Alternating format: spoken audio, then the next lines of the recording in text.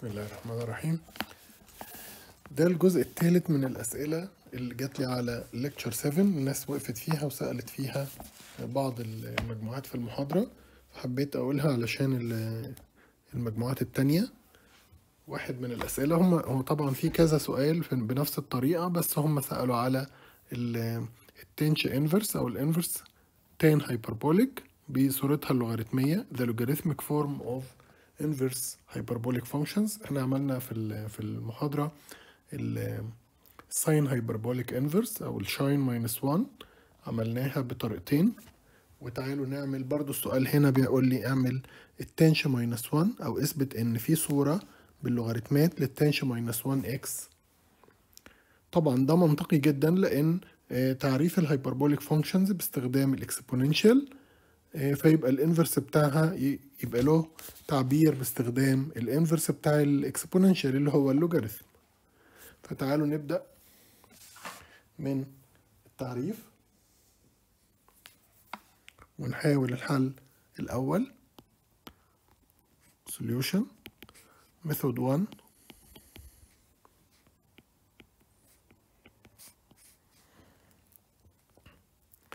let y يساوي تنش minus 1x وطبعا من تعريف الدوال ال- العكسية دلوقتي بقينا خبراء في الدالة العكسية.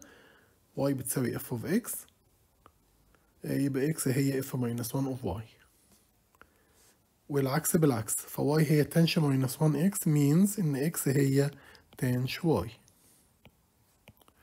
وإحنا عارفين طبعا التنش y هي مين؟ هي sine hyperbolic أو sinh y على cosh y طبعا ممكن نكتبها or باختصار sinh y على cosh y بالطريقة دي اللي يحب. وطبعا إحنا عارفين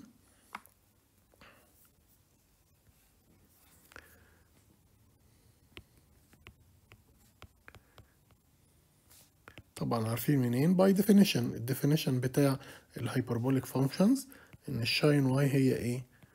half e to the y minus e to the minus y.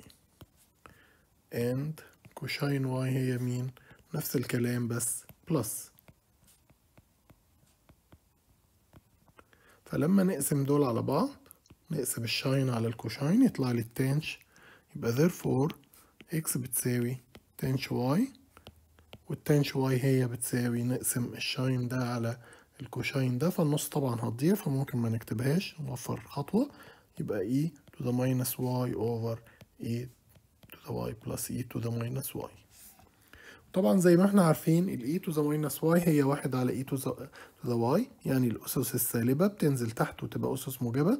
وطبعا في الحالة دي يبقى عندي كسور فوق وتحت ونقدر نتخلص من الكسور دي بالطريقة المعتادة اللي هي إيه؟ نضرب فوق وتحت في المقام المشترك أو e أس y هنا فوق وتحت فنحط هنا أقواس عشان نوزع بوضوح. هتعمل إيه ال- الضربية دي؟ هتخلصني من الأسس السالبة أو المقامات. يبقى إكس بتساوي e أس y هتتضرب في e أس y تبقى e أس two y جمعت الأسس طبعا. e أس minus y في e أس y يطلع e أس zero أو one على طول. وهنا نفس الكلام. e أس two y minus one plus one بقى. وإحنا عايزين إيه؟ إحنا كان عندي حاجة اسمها tanh minus 1 x فسميتها y وعايز أجيب ال y كأني بجيب الدالة العكسية بالظبط. فعايز أجيب y الحل هو آه، نضرب الطرفين والوسطين ونجمع ال e أس 2 y دي ومنها نجيب ال e أس y. يبقى cross multiplication هيديني x e to the 2 y plus x وهنا زي ما هي e أس 2 y minus 1 طبعا بالطريقة المعتادة نجمع دول وناخد e power 2 y common factor يتبقى لي x minus 1 ونجيب ال minus x الناحية التانية دي.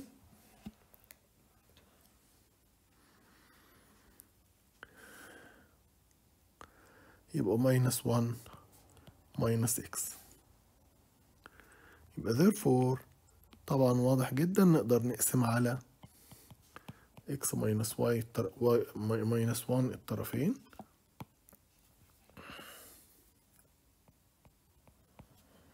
يبقى e to the y يساوي minus دي طبعا 1 plus x خدت minus 1 مشترك وهنا يتبقى لي x minus 1 ممكن برضو نكتبها minus 1 minus x. فيبقى الصورة الصورة البسيطة دي وال minus هتروح يبقى therefore e to the 2y يساوي 1 plus x over 1 minus x.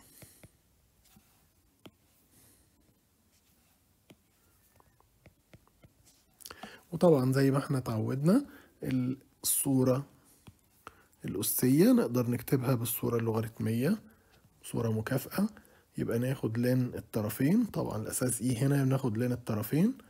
لوغاريتم to the natural base e يبقى 2y يساوي طبعا عايز تكتب ln e وبعدين تكتب واحد؟ ماشي زي ما أنت عايز. يعني يبقى دوت ln 1 plus x over 1 minus x.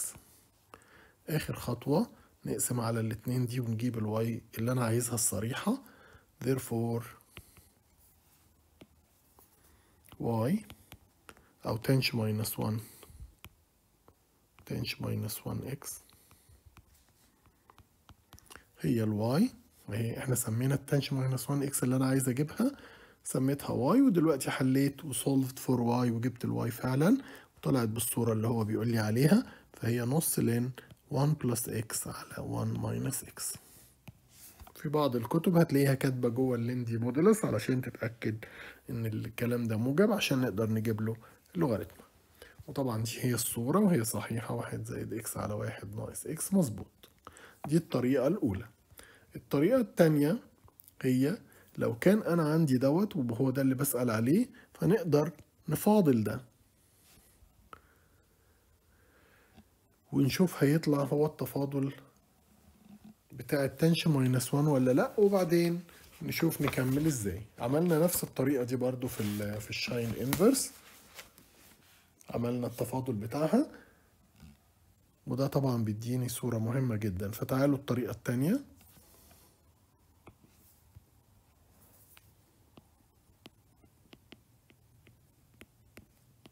في ناس بد... في ناس اقترحت الحل دوت وهو حل سهل فعلا.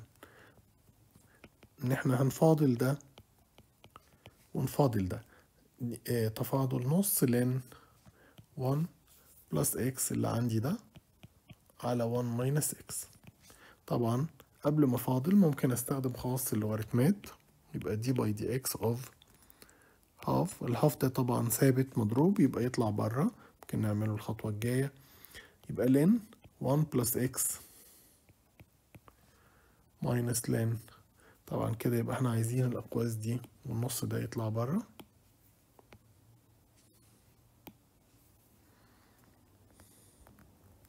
ادي النص اهو طلعته بره كده أسهل. نحسن المنظر شوية. يساوي half d by dx of لسه ما فاضلتش بس طلعت الثابت بره ودي من خواص التفاضل زي ما إحنا عارفين. ln واحد ناقص x دلوقتي نفاضل تفاضل سهل جدا. تفاضل ال ln function يبقى الواحد على ال function دي تحت وتفاضلها فوق. تفاضل 1 plus x هو 1 minus نفس الكلام هنا 1 minus x يبقى تفاضل ال 1 minus x هو minus 1 فده هيخلي الموضوع يبقى plus النتيجة؟ نص فيه واحد على واحد زائد x زائد تاني لأنه ناقص في ناقص واحد يبقى واحد على واحد ناقص x.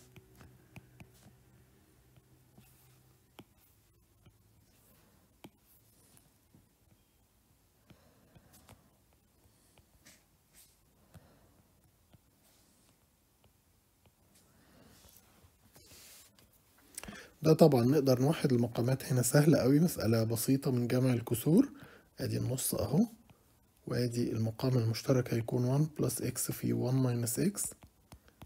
وفوق هيبقى 1 minus x. توحيد مقامات عادي جدا. 1 plus x. اللي مش عارف يقدر يراجع جمع الكسور. هي الحكاية بسيطة خالص. أنا عندي هنا واحد زائد x تحت وهنا واحد ناقص x. فهضرب الكسر الأولاني فوق وتحت في واحد ناقص x. وهضرب الكسر التاني فوق وتحت في واحد زائد x. كده يبقى المقام بتاعهم هما الاتنين. ده same denominator least common denominator. المقام المشترك الأصغر هو 1 plus x times 1 minus x. قوسين مضروبين في بعض اللي هما واحد زائد x واحد ناقص x وفوق هيجي جمعهم بالمنظر ده. فالنتيجة آدي النص وفوق هيكون ال minus x وال plus x هت cancel والنتيجة تتبقى لي اتنين. وطبعا اللي تحت دوت فرق كان فرق بين مربعين وده تحليله ممكن نرجعه زي ما كان عشان الصورة اللي إحنا عارفينها. وطبعا الاتنين دي هت cancel دلوقتي. مع الاتنين دي يبقى الإجابة واحد على واحد ناقص x تربيع. ودوت هو بالظبط التفاضل بتاع ال tanh minus 1 x. زي ما عملناه قبل كده في الجدول. But d by dx of the inverse hyperbolic tan of x إحنا عارفين ان هو ده واحد على واحد ناقص x تربيع بالظبط يبقى عندي دلوقتي two functions ليهم نفس التفاضل يبقى عندي ال d by dx of half ln 1 plus x over 1 minus x هو هو d by dx of tanh minus 1 x therefore نعرف إيه بقى من. لما يكون عندي دالتين ليهم نفس التفاضل عند كل الدومين بتاعهم يبقى الدالتين دول متساويين فيما عدا ثابت يعني الفرق بينهم يكون ثابت. وطبعا الحكاية ديت أنتوا بتستخدموها كتير في حساب التكامل. دايما لما يكون عندي تكامل غير محدود فبحط ثابت في الآخر لأني بجيب الأنتي ديريفاتيف أو الدالة الأصلية اللي تفاضلها بيديني الدالة المكملة فأنا مش عارفها بالظبط. ممكن يكون زائد خمسة ناقص تلاتة زائد أي ثابت ينفع لأن تفاضل الثابت بصفر. يبقى هنا لما عندي دالتين تفاضلهم زي بعض يبقى إذا الدالتين دول متساويتين فيما عدا فرق ثابت. يعني tanh minus 1 x هو هو half ln 1 plus x over 1 minus x plus c. حيث السي دي a constant. بس المطلوب هو إنه ده يساوي ده بالظبط يعني الثابت هو صفر. طيب نثبت إزاي إن الثابت دوت هو صفر؟ طبعا ممكن ناس تكتب الإجابة دي على طول وتنسى موضوع الثابت وتنسى تثبت إن هو صفر وكل الحاجات دي لكن دوت الكلام بدقة. لما يكون عندي دالتين تفاضلهم متساوي عند كل نقط المجال ده معناه إن الدالتين دول متساويتين فيما عدا الفرق الثابت. يعني ممكن يكون f هي g plus c ال c دي بكام؟ لو عندي معلومات أقدر أجيبها لو ما عنديش معلومات هنفضل سايبينها زي ما بنسيبها في حساب التكامل المحدود طيب حد عنده فكرة؟ أيوه لما يكون عند نقطة معينة طالما هم متساويين دايما.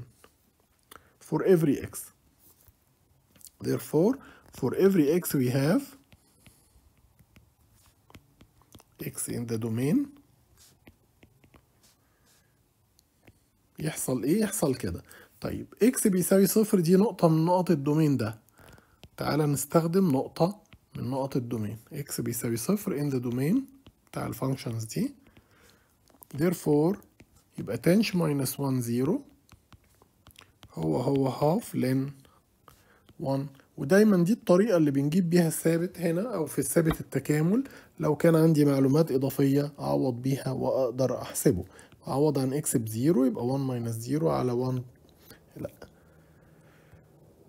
هي ال plus فوق وال minus تحت. ادي plus فوق و minus تحت. دي plus طبعا مش هتفرق عشان ال zero لكن إحنا لازم نصلح أي غلطة. ادي زائد سي طيب ال tanh zero بكام؟ نرجع لتعريف. ال tanh هي sinh zero على cosh zero فيطلع sinh zero عوض هيطلع e أس zero ناقص e أس zero يبقى zero. تانية e أس zero plus e أس zero يطلع اتنين على اتنين يطلع واحد. ف شبه ال sine وال cosine sine zero ب zero cosine zero بواحد. نفس الكلام هنا. sinh zero ب zero cosh zero بواحد. فالقسمة هتطلع tanh zero يساوي zero. فلما tanh zero يساوي zero يبقى tanh minus one zero برضو يساوي zero لأنه f لو f بتودي zero f بتودي x ل y يبقى الاف انفرس هتودي الواي لاكس هترجع الواي لاكس فتانش ماينس وان وزيرو هيرجع للزيرو وهنا نص لأن طبعا واحد على واحد يبقى واحد زائد سي وطبعا لوغاريتم الواحد يساوي صفر. يبقى إذا سي بتساوي صفر. وده يثبت المطلوب. Therefore تنش inverse of x بيساوي half ln 1 plus x على 1 minus x. وده المط... ده الإثبات التاني المطلوب. الباقي الأسئلة أسئلة مباشرة أقول بعضها. شفوي مثلا السؤال الأولاني بتاع التقريب شاين ها أربعة وستش اتنين. نكتب القانون ونعوض بيه باستخدام الآلة ونقرب لأربع أرقام عشرية أو زي ما يقول لي. الباقي أسئلة سهلة ومباشرة